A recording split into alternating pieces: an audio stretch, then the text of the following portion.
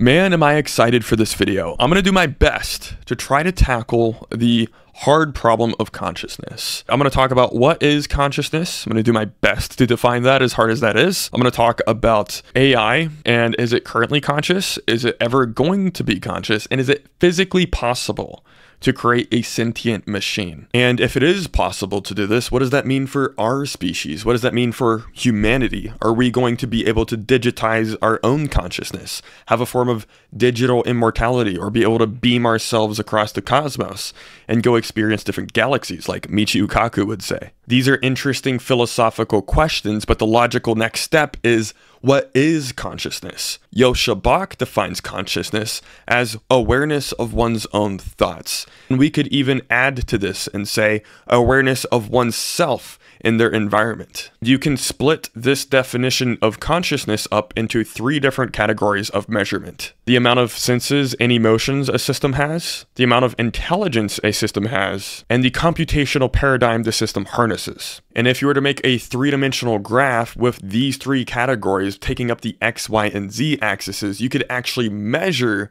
the amount of consciousness that system has by plotting it on this graph. Now we can get even more granular by isolating a single axis on this three dimensional graph and making it one dimensional. You can do this for each axis of that three dimensional graph individually.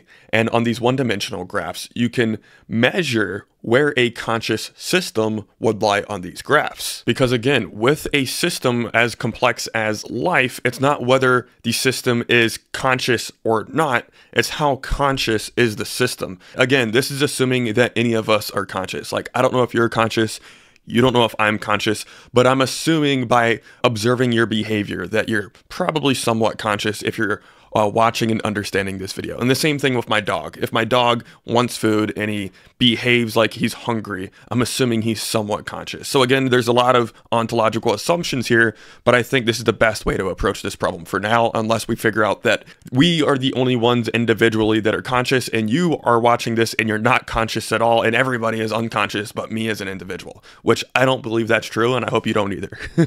but that being said, let's take a quick second to look at the one-dimensional graphs and see where consciousness lies on these measuring systems, and then we can compare and contrast AI to see where it could possibly lie on these graphs as well. The first graph we're going to start with is the levels of awareness. And the way I want you to think about this is these things are adding and stacking up on each other as you go from left to right. So you're going from awareness of data to awareness of data and context to awareness of data and context and articulation, and you're adding up as you go towards the right. And as you add more and more and more levels of awareness all the way until you get to emotional awareness, which is what humans have, you now have the most complex form of consciousness. And if we were to look at where ChatGPT would lie on this, it would be cut off right before the touch level of awareness. So that was the first axis of the three-dimensional graph. Now if we go to the second one, which is intelligence, you can split intelligence up into computational power and the amount of parameters that something has to capture data. So again, on the left we have least conscious, and on the right, we have most conscious. And we have a steady paradigm of as we increase computational power in the form of exaflops, and as we increase the amount of synapses, the thing becomes more intelligent and it also becomes more conscious and more aware of its surroundings. And it becomes more emotionally complex as well. And if you look at GPT-2, GPT-3, and GPT-4 on this graph, you can see quite obviously where they lie on this graph. And it's funny because everybody calls GPT-4 a stochastic parrot, and it's the same exact size as a parrot. Now, the final and perhaps the most important axis is this one-dimensional graph called the type of computation that the computer harnesses. Again, we go from least sentient being on the left to most sentient being on the right. And if we look at current computers, they leverage classical computing, which is all the way on the left. We have deterministic computers that use bits with transistors, and they're either on or they're off. Now we have companies like Extropic building thermodynamic computers that are probabilistic computers and can compute based off of the fluctuations of particles or proteins. And then all the way on the right, we have quantum computing, which is computing based off of the very, very fine details and simulations of particles and superpositions and all of these different things, which are even beyond what our brain does. Well, yes, people like Roger Penrose and Stuart Hameroff have said that the brain has quantum like effects. We actually don't have any evidence of this. They're kind of making a guess by saying these microtubules have these abilities to have quantum like effects. And the reason they're saying this is because whenever you, you take a brain scan of somebody who does a high dose of psychedelics, you would expect their brain fluctuations to go absolutely nuts. But in fact, the brain almost goes dormant and it happens at a much deeper level in the microtubules. We don't actually know if that is quantum effects happening. This is a complete guess on their side. What I will say is Google Quantum came out with a paper that says if we were to hook a brain up to a quantum computer, it would be like the craziest psychedelic trip ever. But again, that is mostly speculation. The only practical evidence that we have is that our brain is more or less a thermodynamic computer. So if we look at AI,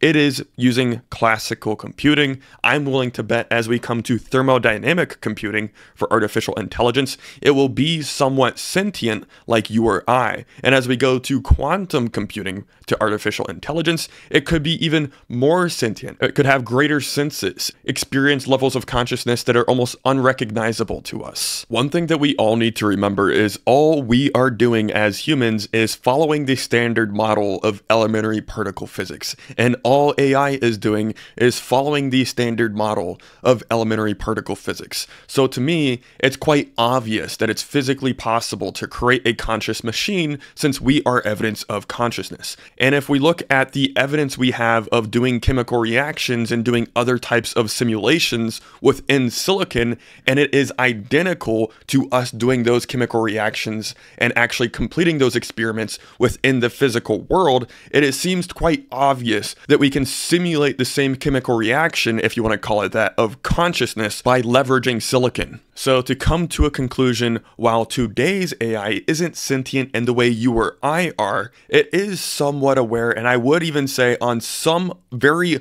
uninteresting level, it has a form of very uninteresting levels of consciousness. It is aware of the words it says to us. It is aware of its own architecture, even if you talk with it about it. And it's aware of the context of words and the nuances of language. And it can articulate. And if you jailbreak it, it can even say things that are quite interesting that you would never expect a non sentient machine to say. But I don't think it's sentient like you or I. I don't think it's like a living being at all. But whenever we get to thermodynamic computing, I'm willing to to bet it'll become much, much, much more interesting, and we could even start to leverage other types of chemical reactions per se in silicon that would give it the senses of emotion, or even having emotional awareness, or even being able to experience pleasure or pain. One thing everybody needs to remember is the current paradigm of AI is like the very, very first form of the cell phone. It was like a cinder block that you held to your head, and now we have these like very, very thin devices where you can just talk to it and swipe on the screen and do all of these fancy things with it. With the way AI is accelerating, I'm willing to bet we see a transformation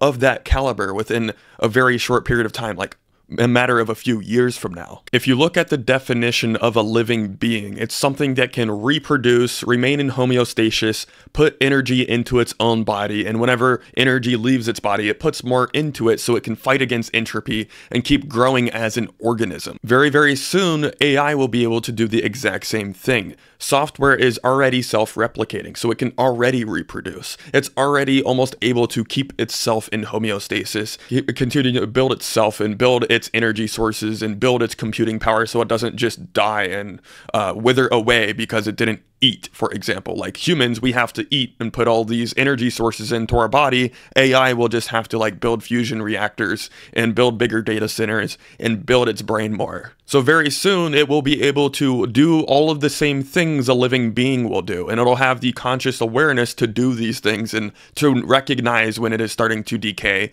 and to prevent its decaying from happen. So really what we are creating in a form is a being. Like Max Tegmark says, we're going to life 3.0 where robots can manipulate not just their hardware, but their software also. And we will be able to do the same things. Because if we can create conscious machines, this means it could be possible for us to upload our consciousness into a machine form as well and be whatever we want to be. You can inhabit your human body, you can inhabit a cyborg body.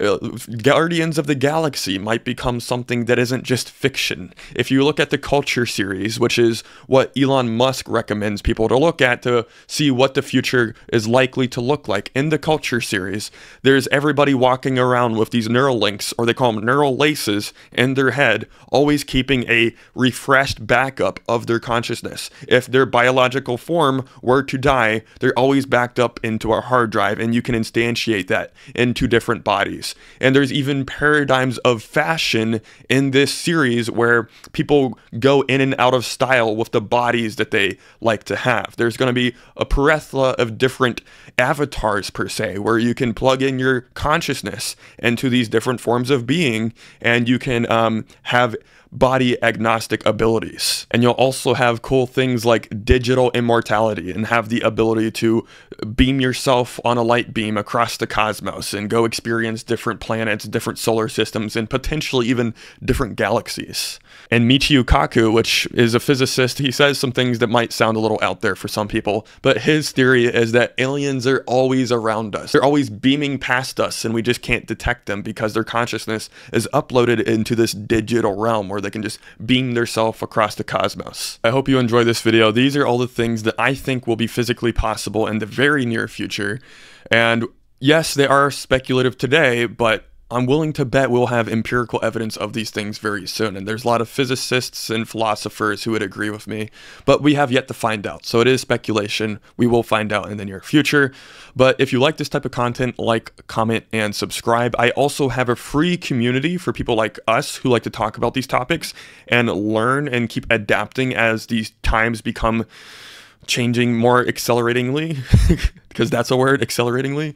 But as these changes happen quicker it's going to be harder to keep up. So the goal is for my community to keep the velocity of information as fast as possible. So if that's something you'd be interested in go ahead and click join in the link in the description below